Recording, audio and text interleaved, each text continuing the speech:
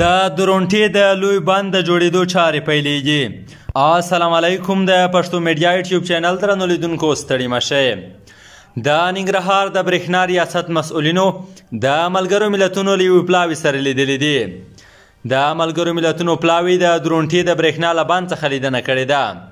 په دې لیدنه کې د ملګرو ملتونو پلاوي ژمنه کړې چې د خپلو پراختیایي پروژو پلي کولو ترڅنګ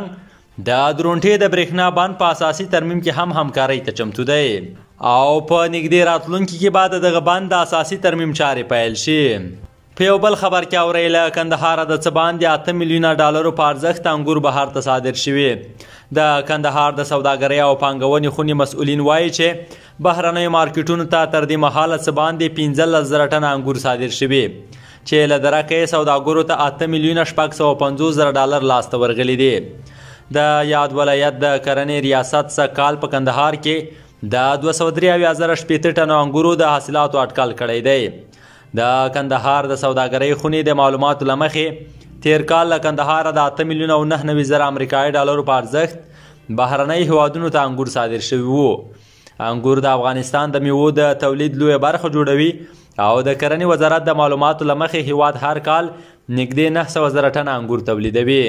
د کرنې او بولګولو او مالدارۍ وزارت وایي هڅه کیږي چې له ایران سره د کرنیزو محصولاتو واردات او صادرات زیات شي د دغه وزارت ویان ټینګار کوي چې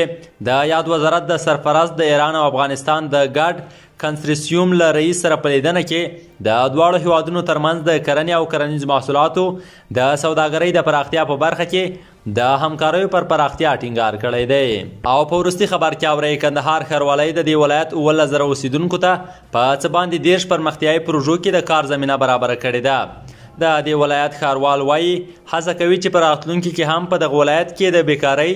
د ستونزو د حل په موخه نورې پراختیايي پروژې پلې کړي. د پښتو میډیا یوټیوب چینل درنو لیدونکو له پښتو میډیا څخه مو څو تازه، مهم او وروستي خبرونه همدومره وو. تر بیا هم په پاک رب سپارم ښې چارې.